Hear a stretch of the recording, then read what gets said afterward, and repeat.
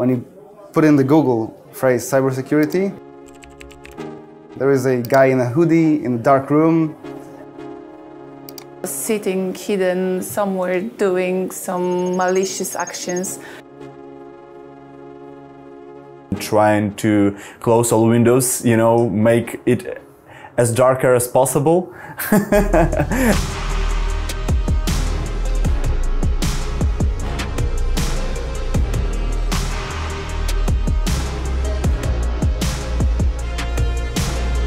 Cybersecurity is actually one of the broadest fields there is. It is not just about the hacking some systems. People, processes, technology. People in suits, people in hoodies, people in t-shirts. It's not just the technical side, you also want that human perspective. When talking about cybersecurity, we're not talking about security just of devices, but we're talking also about security of the people.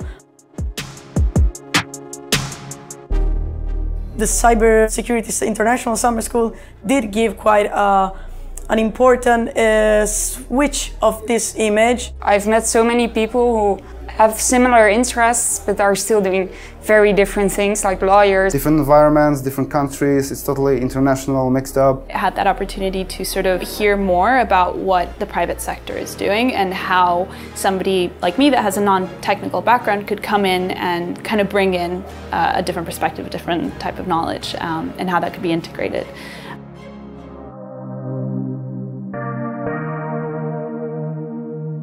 It has been an amazing week. Um, we have had speakers of world-class companies. We have been visiting renowned international organizations and the students have been working really hard on their challenges during the week so we can't wait to find out who the winner will be.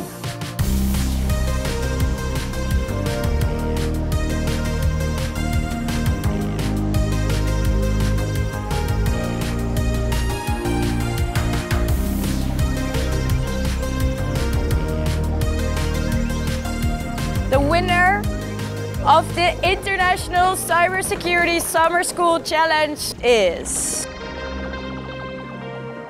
Booz Allen Hamilton!